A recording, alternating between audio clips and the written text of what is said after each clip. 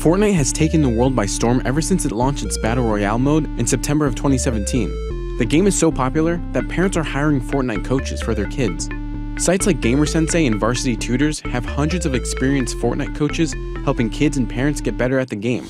Coaches charge anywhere between $10 to $30 an hour based on their experience level, gaming background, and their track record with previous students.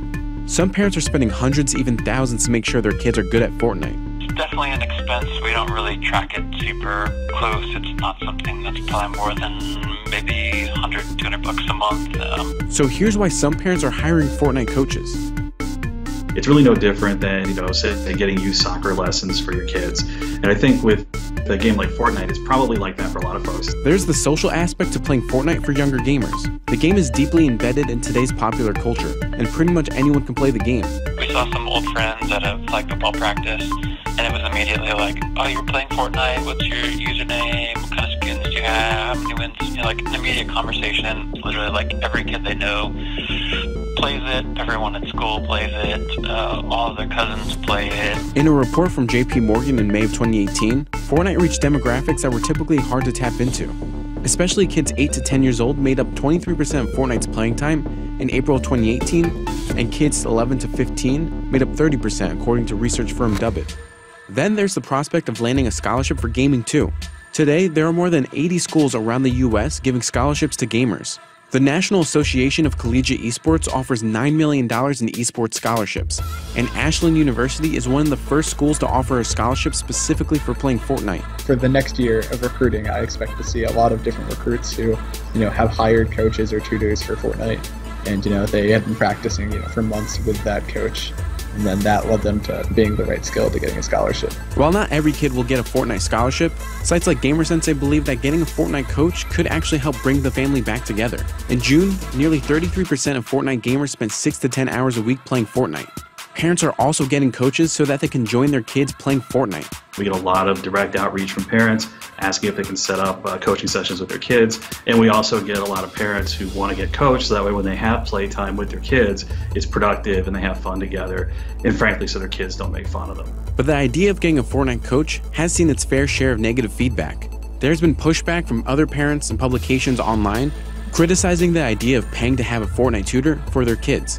But it's not just helping kids get better at the game, it's also helping kids in other ways too.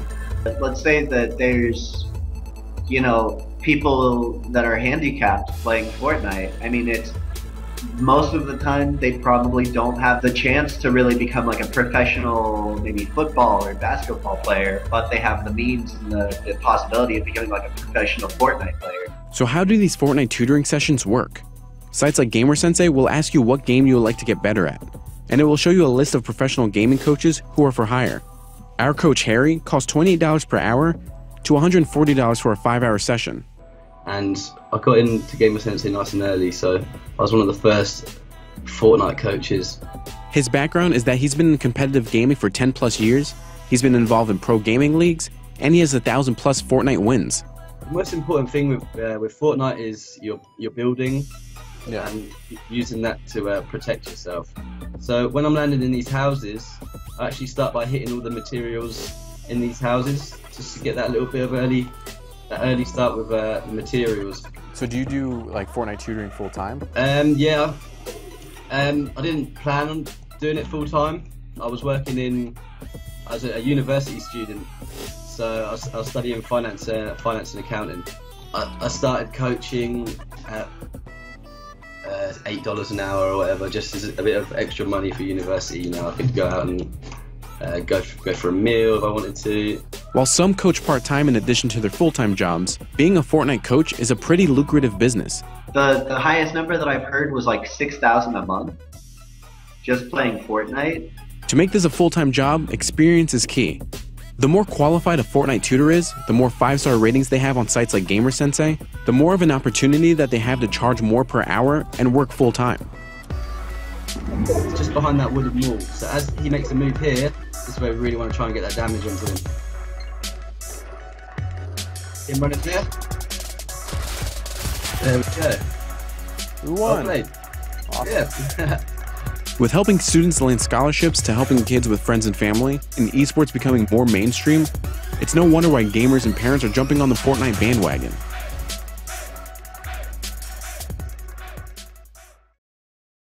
Hi, I'm Arjun Carpenter. Thanks for watching The Edge. To check out more online videos, just click on the boxes and don't forget to subscribe to the CNBC Live channel right here at the bottom of the screen.